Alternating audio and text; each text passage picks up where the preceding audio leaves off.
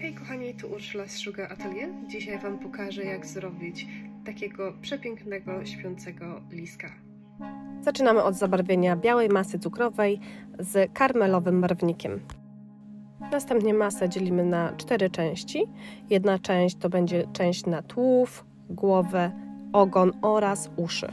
Gramaturę na każdą część ciała macie podaną w opisie tutorialu. Każdą część ciała zaczynamy od uformowania kulki. Z największej kulki formujemy tułów, robimy stożek i zaginamy lekko. Następnie z drugiej co do wielkości kulki lepimy głowę. Następnie za pomocą kulki robimy oczodoły, ściskamy policzki delikatnie palcami oraz nosek, przy czym masę tam gdzie jest nosek delikatnie wyciągamy do przodu, ściskając końcówkę noska. Większą kulką modelujemy jeszcze bardziej oczodoły. Narzędziem dryzdeńskim delikatnie wyznaczamy linię. W dolnej partii znajdzie się biała masa cukrowa. Białą masę cukrową rozwałkowujemy na około 1 mm grubości. By masa nie przylepiła się nam do naszego stołu, podsypujemy mąką kukurydzianą. Za pomocą skalpela przekrawamy naszą masę cukrową, po czym dolną część głowy smarujemy klejem jadalnym i przylepiamy białą masę cukrową. Nadmiar masy cukrowej odcinamy skalpelem. Masę chowamy do woreczka, by móc ją znowu użyć, by nam nie obeschła. Następnie kulką wygładzamy łączenie. Następnie dodatkowo wygładzam palcami i zabieramy się teraz za ogon. Masę przez chwilę uplastyczniamy w rękach, tworzymy stożek i dodajemy białą masę cukrową na końcówkę ogona. Nadmiar białej masy cukrowej obrywamy i narzędziem drezdeńskim sobie manewrujemy tą masę cukrową.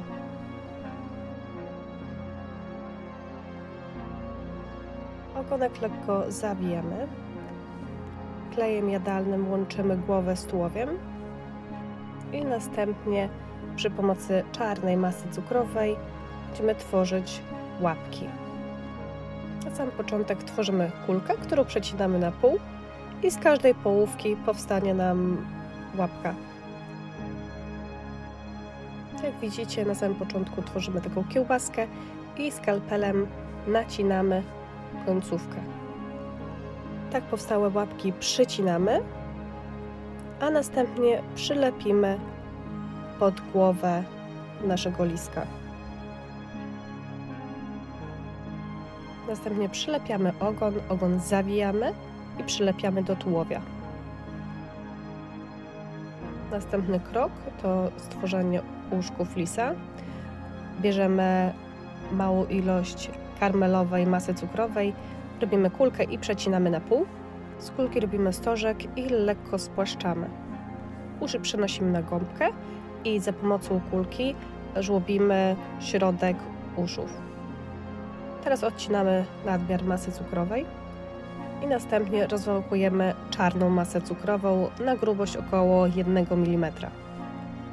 Wykrawaczką wykrawamy gwiazdkę i odcinamy tylko dwie końcówki, które będą nam potrzebne do środka uszu. Delikatnie kulką spłaszczamy masę cukrową i przylepiamy do środka uszków.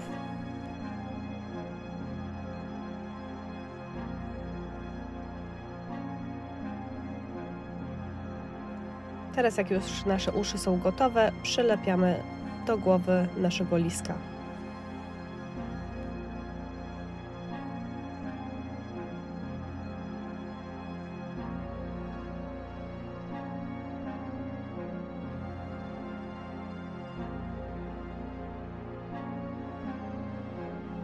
Teraz zrobimy nosek oraz oczy. Nosek to tylko malutka kuleczka czarnej masy cukrowej. By zrobić oczy, delikatnie rozwałkowujemy masę cukrową pomiędzy palcami i obcinamy skalpelem. Dodajemy oczkom odpowiedni kształt. Z tego względu, że nasz lisek będzie spał, więc te oczy będą zamknięte. Teraz przylepimy nasz nosek oczka przylepimy na samym końcu i teraz zabierzemy się za futerko. Aby zrobić futerko potrzebujemy taki szpikulec. Teraz Wam pokażę z bliska jak robię tutaj te futerko. Teraz musicie uzbroić się w cierpliwość, bo wykonanie takiego futerka troszeczkę trwa.